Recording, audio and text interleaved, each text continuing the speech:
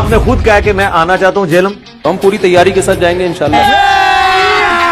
अभी मज़ा आएगा ना भिड़ो। जनाब हम आपको वेलकम करते हैं यहाँ पे।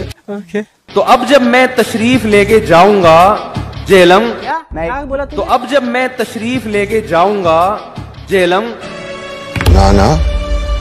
ऐसा गलत काम ना करना जी। ऐसे मेरा दिल कर रहा है मैं एक बात करूँ कि टाइम आपके पास क्यामत तक के लिए आप कभी भी इधर नहीं आएँगे।